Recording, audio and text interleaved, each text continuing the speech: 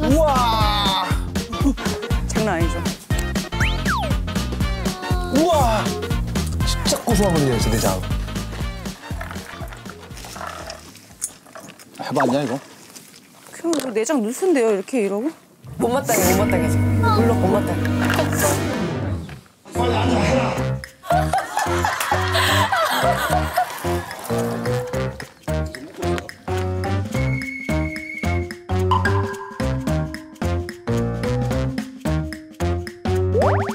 성게가 이게 비싼 이유가 손질 그것도 있네. 그래요? 손질하는 것도 짜증나. 어 그래서 비싸.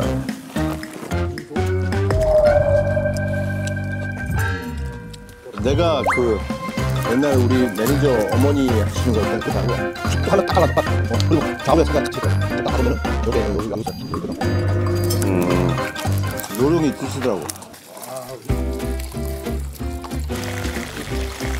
아, 이런 거, 이런 거 밥을 줘. 이러면은 전복의 풍미가 밥 하나하나에 다 들어가죠. 아, 전복은 나중에 넣나 보네. 네. 내장만 먼저 넣고. 장작으로는 처음 해보는데 밥을? 야 수진아 네? 그거 네가 태우잖아 네. 큰일 난다 내가 큰거 작은 거 들어갔다.